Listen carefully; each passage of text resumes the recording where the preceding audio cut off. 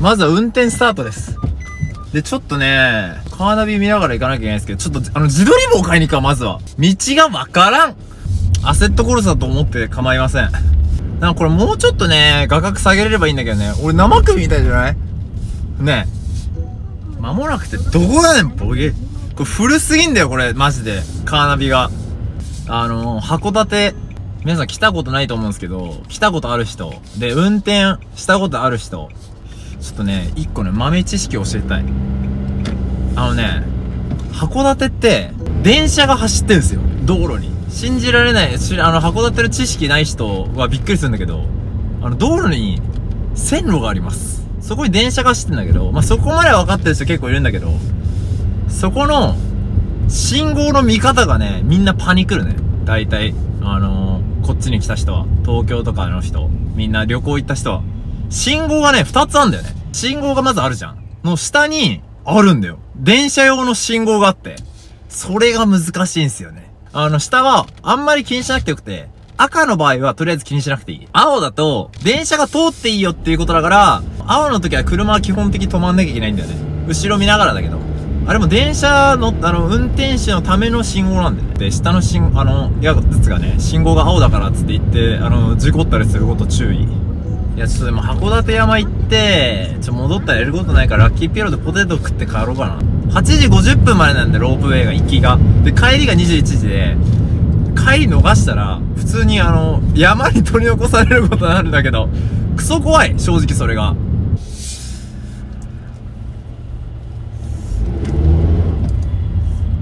見てくれよ。見ていいか？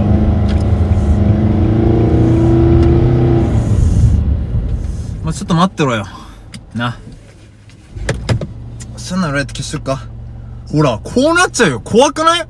ねえ、どう思う？怖いだろ？どう思う？あの、これさ、ライトってさ、あ、これつくわ。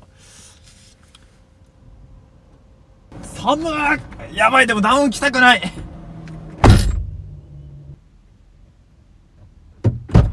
帰ってきたぞやぜなんでお前らこんなにコメント打ってんだよめっちゃ走ったわ、そして。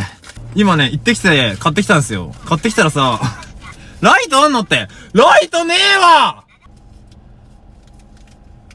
ライトねえわでも景色が綺麗だからいいや。俺の顔はいいや。お前の景色を見てほしいんだよね、俺は。今会計したらさ、45歳ぐらいのおじさんがさ、安城さんですか？って。店員が言ってきた。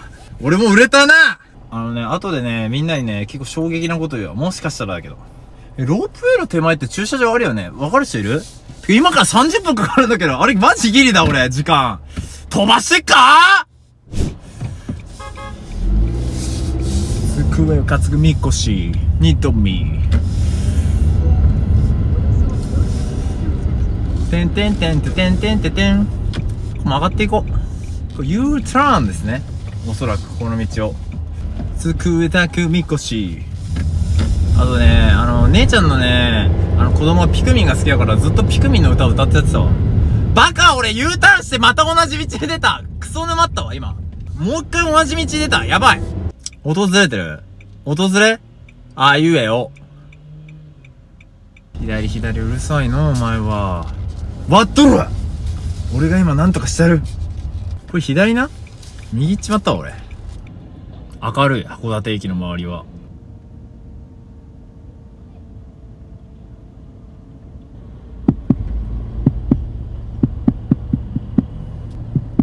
訪れ直った？それやめて。いや、多動だから足でステップしてるだけ。なんか人間ドック、来月末行くんだけど、それで何か分かるといいな。そういうのに出てこないのかな？多動症とかって。俺のね、まあ、今じじいいるんだけど、その前のじいちゃん。ばあちゃん再婚するって、あのガチのじいちゃん。やつは電車の運転手でしたね。し、あの、癌で死んだじいちゃん。俺が、あの、病院に行ってて、あの、その話聞いたことある人いっぱいいると思うんだけど、まあ、昔はね、まあ、今もかわかんないけど、癌の人に対して、あなたは癌ですと。伝えないんですよ。伝えないんだけど、俺はね、おじいちゃん何の病気なのって言って、そしたらお母さんがね、あの、僕が持ってた電子辞書にね、癌って言ってね、あの、書いてあって、意味が不治の病って書いてあってね。で、その時ね、繁盛少年はね、おじいちゃんに対してね、じいちゃんこれらしいよって、癌っていう不治の病っていうものを見せて、じいちゃんが、ああって言ってた。あーって言ってた。うーって言って死んだ。その後。ガンより先にショックで死んじゃった。俺は笑ってもいいだろ、別に。お前ら笑うなよ。悲しくなってきた、お前らのせいで。でも、じいちゃん絶対安静で、あの、家から、あのー何日かが出れる、家に帰れるってやつがあって、座椅子背もたれのある座椅子、このもたれかかる部分に、俺が上から、ダイブしてね、おじいちゃんがひっくり返ってました。あれで寿命多分1日は削った、間違いなく。ま、確実に1日は削ったと思う。うわーって、首絞められた時の声みたいな。行きまーす。すっげえ山だ、山 もうこれ道合ってるか？本当にロープウェイの入り口だぞ。ガチだ山。すごい道だけど通行止めって書いてあるけど、積んだやん、俺。は？じゃあどうすんの？はい？函館山の自然を大切しましょう。缶。缶です。皆さん。え、ロープウェイやってるって書いてあったんだけど。ちょっとさ、みんな、あの、一回さ、配信切ってさ、ちょ、ロープウェイの道調べていい？じゃないと無理なんだけど、たどり着くの。今から行きますけども、少々お待ちください。ちょ、切符を買います。切符を買うとこ見せたい。あこんにちは。えー、これ券はこれ買うんですか、はい、ああなるほど。購入のこんなんですね。これです。往復券。はい。往復券がいいです。どうだ？どっか金出てくる。おし来た来た来た来た来た来た。来たこれなんかメタルゲーム出てくるみたいでめっちゃ面白いんだよな。金が出てくるの。これ好きなんだで。やっぱ剣どっかなくしちゃった。あらちょっと待って。あこれレシートじゃないんだこれ。3階あわかりました。はい。5分間で運転中。なるほど。今何分ですか？28分で。30分出んのかな5分に1回って都内の電車ぐらい早いじゃん。ロープウェイってどういう感じ？あの1人ずつ乗るやつ2人ずつ。ちょ一瞬トイレ来てんだけどトイレ行っていいかないやトイレ映しちゃまずいかこれ我慢するか大人だから。来たコードを出してください。はい、ご乗車についてのご案内です。どうぞ。QR コードのタッチお願いします。はい、ありがとうございます。映ってないです。内側だけです。あマジで？もう知ってる？ハイパーゲーム大会あマジで？よかったわじゃあ。じゃあやりやすいわ配信。喋っていい？クソでかい声で。あ本当？あいいんだあクソでかい声だった？あのいやもうあのこの中でクソでかい声で喋ってる。あ本当？あよかったよかった。すげえさあれなんだね。二人ずつ乗ってくみたいな感じ。じゃないんだねスノボーみたいな感じ。沈めみたいな。あ違うんだ。えどっから来たの？函館でしょ。あ地元？あ地元にってこれ登んの？大学が。あ札幌の人なんだ。ああなるほどね。えでもさ思ったより人いるんだけど。えこれさあれじゃないの？俺さスノボーみたいな感じでさ二人ずつ登っていくもんだと思ってた。だから俺配信つけてたけど。さ やばい。なんかさえ映せないけど100人ぐらいいるんだけど。今まで乗ったことない。興味ねえもんだって。興味なかった。けど今興今興味出たから。ここでここにね興味出たから。ミュートシレードの帰りはじゃあちょっと静かにしとこう。景色見せてんだよですごい広いね。ほら。これどっちに登ってくるの？俺の家より広い。ねこのスペース。あすげえ。動いた動いた動いた。捕まったか。捕まり方がわかんねえや。これなんか鉄棒しかないの？動き出しました伺いました。またロープウェイをご利用いただき、ロープウェイ。えすげえ綺麗だほら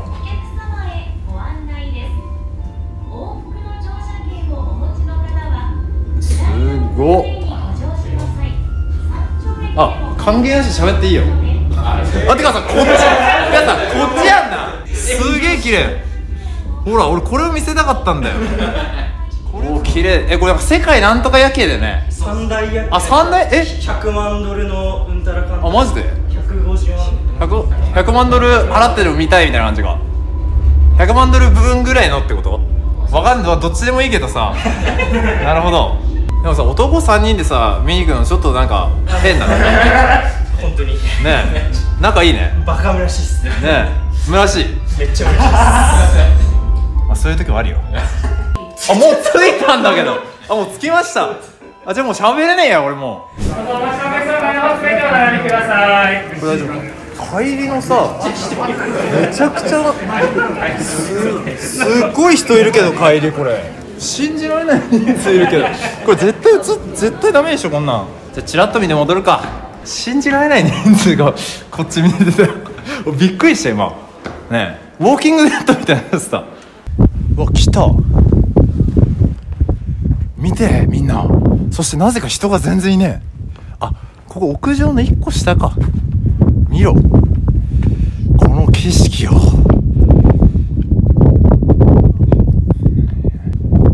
寒いな。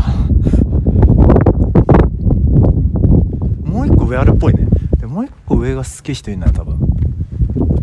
ちょっと見てみるか一瞬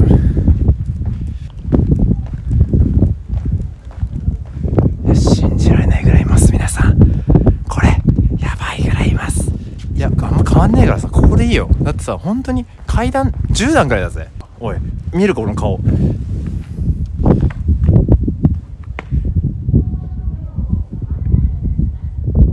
この街すべて俺のもんだ。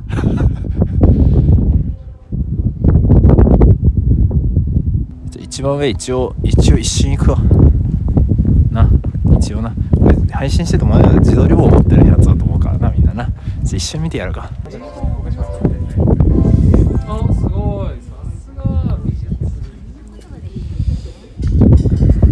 崖から落ちないように気をつけてくださいって言ってたな。ちょっとずらすぐらいがいいんじゃないもういいや。寒いから帰ろう。十分だよな。お前見たよね。俺この景色一瞬でもいいから見せたかったんだよね。周りから見たら俺の俺のことどう思ってんだろ。ねえ。超やばいじゃん俺。笑顔でさ夜勤行ってる人。自撮りを持ってでもさそうでもしないと俺ご飯食べていけないから。俺にはこれしかないから。やばい。髪をな。髪をしたやばい。髪に DJ とか残しちゃった。やばい。抜かれてるあれ？領収書とかあれば渡せるんですけど。領収書なくしました。ああれ？ちょっと待ってくださいね。あありました。はい。どうも。どうぞありがとうございましたはいっつってこれ。ちょっ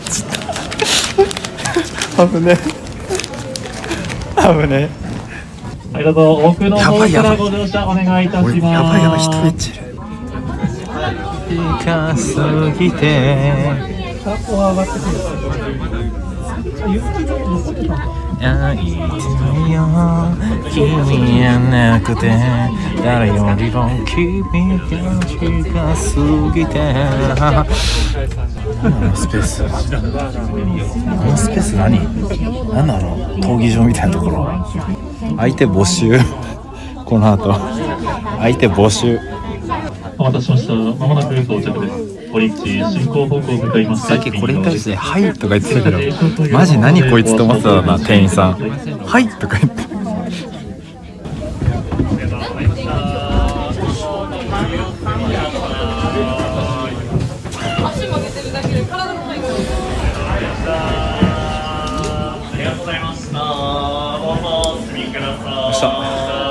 明日ああいいよ3人みんなで撮ろうぜ。もうもう遠慮すんなよ撮れんの内側ではいはいありがとういやもうどうありがとうね一緒だしいや明日消してもいいぜいいよいや、写真申し訳ないんでじゃあサインに書こうか何でもいいぜ別にどれがいいの好きなどれでどれですかえエネルかなじゃあエネル書こうあでもさドンはさ対戦使えるからドンにしよあ、じゃあいいっすよ。うドンは全部のデッキ使えるからドンにしよう。うんふんふん。うん。これさちょっとカメラ持ってくんね。はい。これをさちょっと俺のかっこいいサインをさいいっすよ。顔さこれこれだけでいいよ。これこれ俺が書いてあるから。いくよ心してみよう俺のサインを。やばいっすマジで。お前強信者やん絶対やばくないだろこのサイン。やばいっすよもう。絶対やばくないだろどう考えてもこのサイン。泣きそう。クソダッセーって書いてあるぞ。写真も撮ろうぜ。まあこれじゃあ下向いてていいよ、はい。下向いてていいから俺撮ってやるよ。俺の財布でちょっと画面守やめて画面。いや画面出ていいよ。俺の財布で守ります本当あはい。いくよ。はいチー。あ、ちょっと撮ります。あいいよ。もう気をつけて帰れよ。夜はうん暗いからな。配信楽しみにしてます。うんありがとう。じゃあね。あいつらからね裏で現金握らし1万円ずつ1人徴収しました。俺のファンサービスがタダなわけねえだろ。もらわねえってやってらんねえよこっちはよ。いくらなんだろう北海道の見てください皆さん。北海道のしかも函館山ですからね。高いと思いますよ。60分300円。函館だったら高いけど安いねでもそれでもね。オールタイム。あとね雑談をね少しだけしたい。俺ちょっとね一個ちょっとね言いたいことがあるんだよな。いやおめでたくはない別に。あれ駐車券はどこかな？これはまずい！警戒警報警戒警報。あと何番か忘れた。やばい全部ミスった。失礼。の帰宅。一回。全部忘れた。もう全部ミスった今俺。何番だったあれ？超やばくね？これやべえや！なんとなくしかわかんないこれ。なんとなくしかわかんない。場合どうすんの？こっちわざとじゃないけど。何番って打てばいいんだよ。ちょ待って一回ちょっと一回みんな落ち着け。まずまず駐車券を探します。マジやばいやん。マジねえんだけど。あ駐車券なくすやばいやばいやばい。本当にやばい。あれ？配信でこういうミスはしたくなかったな。裏の僕を見せたくないんですね。常に配信では完璧でいきたい。そう思っていたんですが。これはやばいですね。本当にやばいじゃん。駐車券ないのね。超やべえ。あれも財布に入れたか？あ財布に入れるかな俺が。この僕が。入れてねえな。あれ？これ本当にやばいじゃん。マジな方だよ。マジな方じゃん俺。やばい。マジな方来た。皆さん秘宝駐車券 出した。ねえ。秘宝です。皆さん。やっぱこうなるんですよ結局俺は。いつもこう。で駐車した番号わかんないのもやばい。まず駐車券先に探そう。冷静に。まあまず下に落ちてるかを確認しない？冷静に。まずエンジン切って。危ないからな下に落ちるか確認するというその行為が俺の人生のレベル上がってる気がする。これを探そうとする。え駐車券マジ記憶ねなんとなく流れ作業で生きてきた。俺らは人生。やばい！はあ！やばい！全部金落ちたぐわ金全部落ちたやばい！暗くて見えない小銭全部落ちた！ああ！助けて！ありえんの？こんなこと。神隠しじゃん。千と千尋の神隠しの音楽流れた。結託してる。函館山。陰謀論唱えます。僕は今から。ちょっと待って助手席探すか一旦。ない。本当にないんだけどマジで。なあ本当にないよ。こんなことってあんのね。こんなことある？本当にないよ。ちなみに冗談とかじゃなくて。ねえ。やばくやばい。本当にやばい。ねえ。駐車券なくしちゃったんですけどちょっとさロープウェイの人ちょっと頼みに行くべ。マジかよ。ついてねえな。ガチで見つからなくてロープウェイの人に聞いたらあのうちとは全くあの駐車場関係ありませんっつって今視聴者が2人駆けつけてきて電話しましょうかって言ってるからちょっとちょっとあのすいません。あのちょっとね今ねあのちょっと助けてもらう。わクリップなんかあるって言ってんな。どこ？駐車場落ちてる？ちょっと待って。どこ？どこ？どこ助けて？あごめんみんな。それ俺見たの。ロープウェイの券だったそれ。ロープウェイのチケットだった。これでしょ？くそー！ちくしょうあー助けて助けてえちょっと待って。こんなトラブル起きないだろ1回の配信で。助けてくれよマジで。嘘だろ？俺本当に駐車券なくしちゃった。やべえよお前60分300円安いですねっつったけどお前3000円以上取られそうじゃないかよお前。褒めたのに。サインも書いたのに。こんなんねえよ。んでこれロープウェイの券なんで駐車券でいいじゃん。いいことしたんだから。なんかめっちゃ電話してくれてるけど今まで電話してくれてるってことは繋がってねえじゃん。お前積んでんじゃん俺。囚われの身じゃん。繋がない？じゃあありがとう。帰っていいよ。あの悪いから。俺大人だからなんとかできるからさ。絶対さ根拠よく探して出てくると思いません？冷静に。やばい。家族と過ごす時間があるのに俺も。実家に帰って。家族すごい楽しみしてるよ。俺が帰ってきて。俺 ADHD なのかな？今日で確信したかも。俺やっぱり ADHD だわ。ちゃんと ADHD だったわ俺。すげえ悲しい。その事実に気づいて。生産機紛失ボタンあるぞって。いやねえんだよ田舎だからないんです皆さん調べたんですけどないんです。フエスボタンある？あんのかよじゃあちょっと見に行こう。あったの？ちょっと行ってみようかガチ有能視聴者いた。てか、あいつ帰ってなかったのかよ。電話してくれたやつとまた別で、なんか、あいつ DM で俺に函館山は大体最短40分で歩けますって言って、僕カメラマン40分しますって DM してたやつがいたんだよ。なんかやばいやつかと思ったけど、クソ有能で笑った。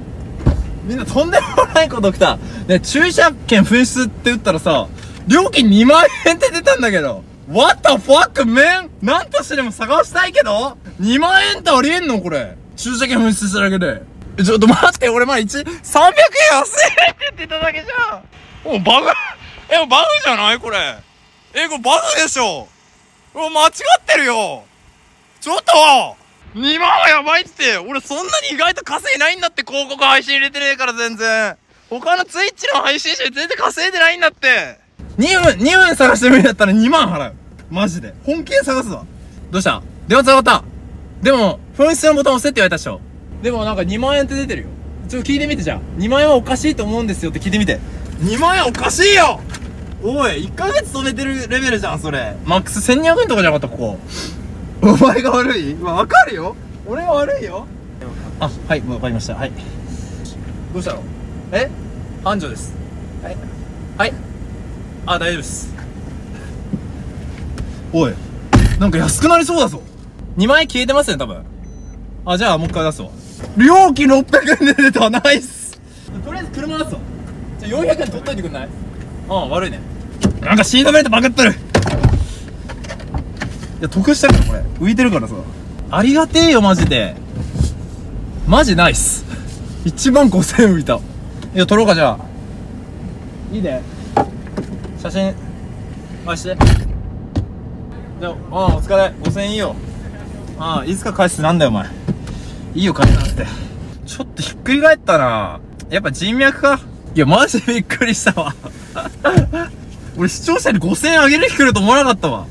どんな人生歩んだら視聴者に5000円あげるっていう回答になるんだよ。本当にだからロープウェイどっかなくした山の上で。山の上でなくしたもうラッキーペイラー11時までやってるとこないんだよね。あのね、本当に俺の計画潰れた。だって9時、1時間やってたよ俺この格闘、多分。ロープウェイから降りて。バカだよ、1時間。何してんの本当に。いや、マジでさ、2万って数字出た瞬間、頭真っ白になっちゃった。それで払う人いっぱいいるんだろうね、でもね。俺もちょっと最悪払おうかなっていう気になってたけど、電話繋がんなかったら。600円になったってもう最高よ。そりゃテンション上がって5000円上げちゃったわ。そりゃ払うわ。でもさ、俺配信して、これが起こったじゃん。配信外でずっとこういうことしてんの、俺。でも俺なんか、とある事情があって、もしかしたら来月も帰らなきゃいけないんだよね。とある事情がありまして、まあ、その確率は多分、60%ぐらいですね。その話を喋りたい。ちなみに、ちょいハッ、まあまあまあハッピーな話だね。いろんな、なんか、10個とか20個あるうちの1個は、人生のうちのね、なんか20個、なんかやり遂げなきゃいけないことがあって、そのうちの1個をちょっとね、やり遂げました。おそらく。でもそれが、確率的に60%ぐらいで、どうなのかなって感じなんですけど、まあ、いずれは必ず、それを、そこで失敗しちゃっても、まあ、やろうかなって。結婚じゃないっす。え、マジで？駐車券どこで落としたと思う？みんな。配信しながら歩いてたじゃん。でマジで、あの、俺の友達が俺と歩いてて、ちょっと後ろ歩いてたら、お金めっちゃ落としてるらしい、1000円とか。だから直せない気がする。俺めっちゃ気をつけてるもん、普段。気をつけてるんだけど、他のことに意識がいった瞬間できなくなっちゃうんだよね。そのことについてずっと考えたらできるんだけど。サブセキューありがとうと、君に言われると、なんだか切ない。さようならと、裏の溶けぬ魔法甘くほろ苦い。安全のライフ。ありがとう。サブスクしてる。サブスクありがとうと。君に言われるとなんだか切ないスプラペックスカルカッタデュエマポケカ遊戯王ニューゼリーそれがブッダと繁盛の教えだろうが一国堂になってる俺2回あげれるじゃん、歌ってみた。まあ自分で歌うじゃん、歌ってみたラップ。その後、福山雅治が繁盛ラップ歌ってみたら2本取れるじゃん、毎回。毎回やろっかな、それ。引っ張りすぎだろって、引っ張る価値がある。ちなみに。引っ張る価値があるぐらいの話題。なんでそんなにハードル上げてるのかわからないぐらい上げてる。ちなみに、あっそうってなる可能性も確かに出てきた。今。汗かいてきた。やめよう。やめます。この話するの。え、いっか。え、もう話すわ、一個。一個、この話題だけして配信終わろうかなと。えー、昨日ですね、あのー夜、親と、まあ、みんな話してたんですけど、まあ、そろそろ引っ越したいねみたいなことしてたんですよ。親が。でもお金が全然ないからって言ってたから、じゃあ俺が、もう家賃出すから、借りねよっつって。で、借りた、あの借りてなんかいろいろ家賃とか調べたら、10万、10万円とか、まあ一軒家だったらね、でかいといいとこだと10万とかするんですよ。じゃあさ、って言って、家、買えばいいんじゃないかなって、俺がポロって言ったら、いいねってかなんかみんなが言って家を調べ始めたんですよ。で、今日ノリで内見行ったんですよ。もうすごいいいね、いいね、いいね、みたいなことしたから、買うかもしれないです。親の。で、なんならあの、審査までは今行ってるんで、あの、に、2週間、2週間後ぐらいに、まあ、審査がもし通ったら親に家買っちゃう俺。ね。俺賃貸なのに。服買うみたいなノリで。しかもその家の内見、まあみんなでネットでは見たんだけど、事前に。5分ぐらいしか見てないのに。でもね、35年ローン、俺。ね、35年ローンなんだけど、家。月10万ぐらいで。いや、やばいんだけど、俺35年ローンで親に家買ってあげるんだけど、とんでもないこと起きてる。いや、結局なんか、あの家賃10万賃貸払うんだったらもう、あの、家買っちゃえばっていうことで、買ってあげることにしました。けど、ローンの審査が通るかわかんないから、やはり個人で買ったから、うん、借金は関係ないっす。家はちなみに、ローンで買うべきだよ。貯金ですね、80万ぐらいしかないっす、今。競馬で負けて。あの、個人の資産がなくて。でもなんかその、いろいろやって、あれなんで、今、あの、薬品保守ってやつをちょっと増やしたから、それでなんか通るんじゃないかっていうことで。自分でね、いろいろちょっと、いろいろなんかやりくりすぎて、貯金に金ないだけで。いや、大丈夫です。で、家がね、めっちゃ高いわけじゃないんだよね。いや、めっちゃ高いんだけど、だいたい、いくらだ？まあ、?3000 万では足りるかなっていうぐらいの家なんで、一軒家で。で、家買っちゃいました。ノリで。でも審査が落ちたら、いやなんかね、俺心配なんだよね。今住んでる家が山にあって、60か70年ぐらい、70年ぐらいなのかな？震度4ぐらいで崩れんじゃないかなっていう家で、ちょっと心配なんだよね。親がそれ死んじゃうんじゃないかなと思ってさ。それでさ、まあ月10万でまあ、俺があの払って安全なところで住めんだったらまあ良くない？